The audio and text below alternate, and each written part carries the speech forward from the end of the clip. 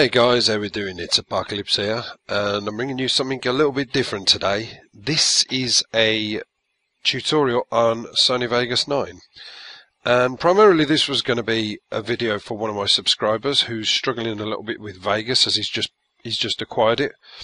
And I was going to do this and send it to him, but I thought, you know, I'll release it because maybe a few more people might want to know the the slight basics. So what you want to do is click on File, click on New, because it's a new project.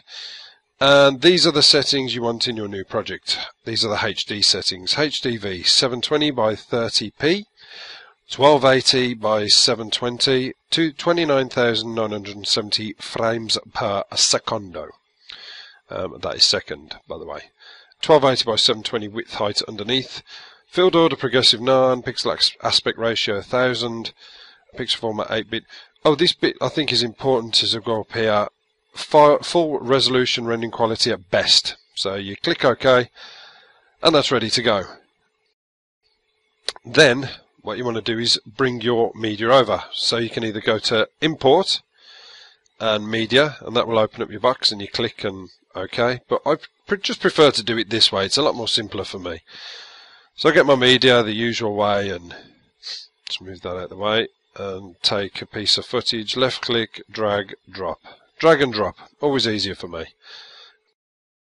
And then just get take that and, and put it on your timeline. I mean, what I'm a lot of these you may know, but this took me to learn everything I'm going to show you now. It took me about 30 videos to watch of different people doing different things. So I might be telling your grandmother how to suck eggs, but maybe you might need to understand this, I don't know. So, as you can see, it's a bit grey and a bit gloomy, so we want to deal with the video effects to deal with that. But if I show you what you've got here, you've got your transitions, these are the things that take it from one scene to another. I generally don't bother because I think transitions are a bit naff. So for now we want video preview. If you look on your screen, this is a HD PVR recording. You've got this nice little black edge around the top. I know some people get it differently, but that's where I always get it. It's like a, a fault or a cancer within the PVR system. I don't know why it does it, why they've never fixed it, but hey, it's a, it's a pain. So if you've got Vegas, you can get rid of it. Um, if you're using any other kind of editing material, it's a pain and you're just stuck with it, I think. So this is what you do on Vegas. You go into your timeline, you go right to the end you find this little bit here, this little square that says event, pan and crop. Click that, and there you go, you've got a duplicate screen. Now, if you look around the edges of your screen on your duplicate screen, you've got this little dotted line with a selection of squares strategically placed. If you imagine that is your TV screen, or your computer screen, should I say, that's your computer screen.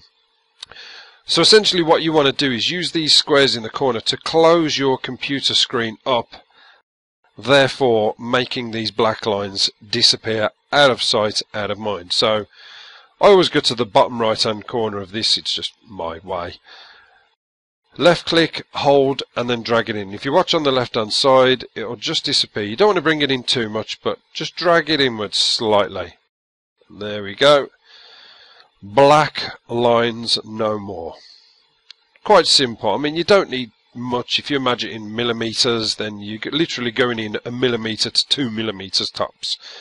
The reason you don't want to go in too much is because you've got a lot going on on your screen, and you don't want to lose your kill feed or your or your HUD or anything like that. So, so yeah, as you can see, as I go through the game as a whole, it uh, it's all the way through. So that's good, and you don't need to do any more. That's it. You don't need to save it.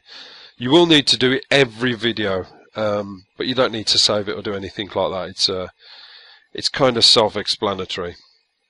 What I really want to do is shorten this down a bit so I can essentially duplicate it and give you an idea, excuse me, of the difference between using color correction and not using color correction.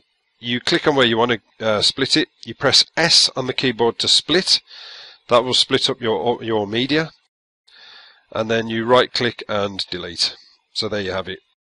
Just a little bit of footage. Probably could do with shortening that a little bit more maybe, but we'll come to that in a bit. Yeah, as you can see, it's quite... Oh, there we go. Nice double kill for you, sir, with your nade. Random nade. Yeah, I'll stretch that out. Uh, you you can use these here, but I use the ball on my mouse to stretch it out or thin it out or whatever. So click on there, press S, press delete. I want to duplicate this to give you an idea. Right click, and I go, where is it? Right, uh, where is it? Copy, copy, oh there, copy. Right click, copy, and then right click and paste. And there you have it. You have two identical pieces of footage. So I'm going to color correct one and I'm not going to color correct t'other. So what you want to do is go into your video effects and I use three. The rest of them I don't use. They all do something. They're all handy. Um, I've actually used one or two once before, but primarily you want um, three, and I use brightness and contrast.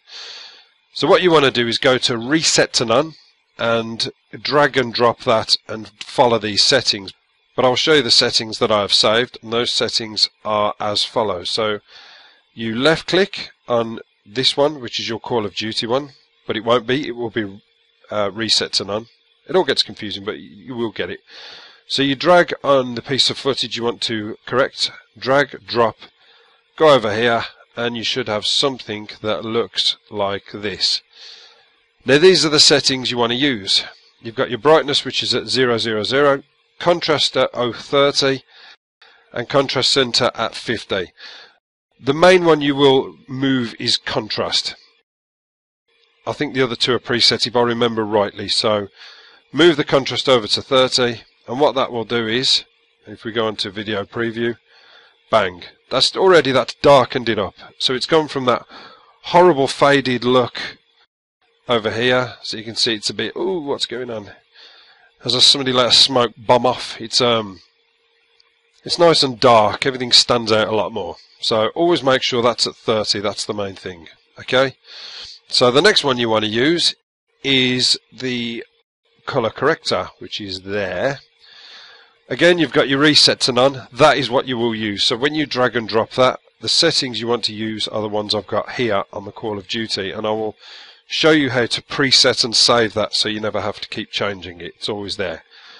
Drag and drop, move it over. Now you've got a few settings there. It all looks a bit confusing. Ignore. Ignore everything. This is the one you want, saturation and you want to move that over to, well I have it at 1.125 but if I really want to bring those colours out and make them vibrant I drag that over just a little bit and I normally make it about 1333 and that really brings everything out. It makes all those reds nice and vibrant the blues deep. It, it does it all nice. So I keep meaning to save that at that actually. And as you can see look at the HUD or the green stand out a lot more the colours are a lot sharper, and I'll, I'll try and give you a bit of an example by sort of matching them. If you can see, yeah, it's it's dark there. If I go back, oh, it's red. I've obviously been shot.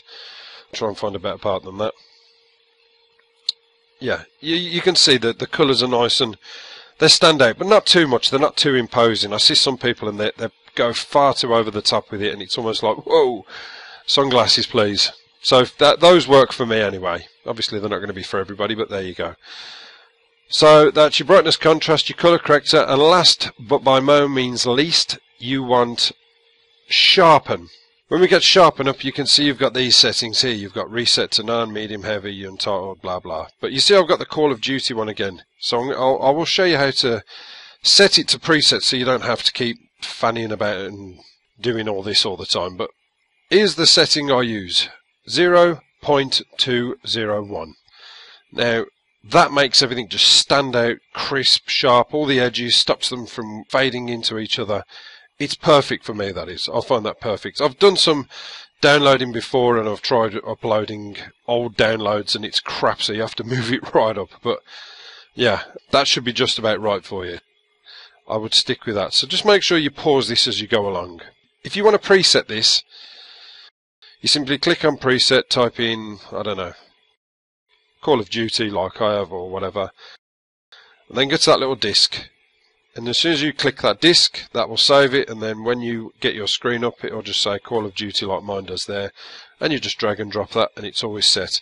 You can change it if you want, then when you go back to it on another project, it will still be at 201. So it's it's it's up to you. Those are the settings, the three, the magic three that I use. So what I'll do is I'll show you an example um, side by side of how these look and then we will go on to the render settings. And there you go. One's grey, faded, quite miserable looking, hard to see. And then you got our colour corrected side, which is, it all stands out. I mean, it looks a bit blurry because it's in motion, because I'm rushing with a shotgun, but um, yeah, you kind of get the gist of it as I move it about. You can see just, it just looks so much fresher and it stands out so much more. The next phase is to get it rendered and set ready to upload to YouTube. Now this is quite simple. Simply go up to File and go down to Render As. Click on that and there you have it down the bottom. Those are your settings you want. Sony AVC, MP4, M2TS and AVC. If you click on the arrow on the right, we obviously you name name it whatever you want to name it. So Call of Duty, I don't know, really inventive thoughts there. Call of Duty settings. They'll call it that. Go over to there, right click, and you've got Sony AVC MP4 M2TS. And if you go down here, it's got Internet 16.9 HD 25p. Those are the ones you want. Those give you the, I believe, the almost the best HD settings. There are settings you can use if you want to make it a lot, lot sharper, but you are literally looking at about two hours of upload time. Probably worse if you've got really slow internet. And there you have it rendering just nicely. So it's uh, it's all good. And then once that's rendered, that'll be in your file under whatever, whatever you've named it as. And then you simply go and put it on YouTube, as you probably already know. So I'll cancel that so I don't need it. Um, I hope in some respects that's helped you out. It took me quite a bit to to get to that stage of learning, and I know there's a lot more, but I'll leave it with you to ask the questions if you need to know any more. And uh, I will see you later, guys. Take care now. Bye bye.